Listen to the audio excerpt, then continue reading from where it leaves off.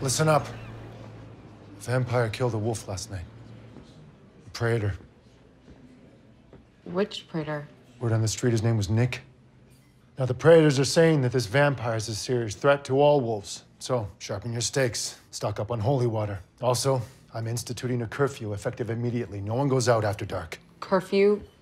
Don't you think that's a little extreme? I have a job at night. I can't just bail.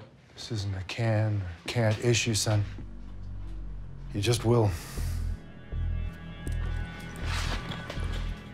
I can go with him. Make sure that he's safe. I said no. I'm the alpha of this pack now.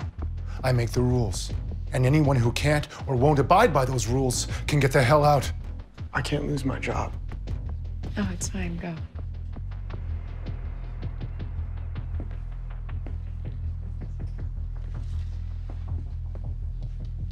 You turned him. You can't just kick him out. Watch me.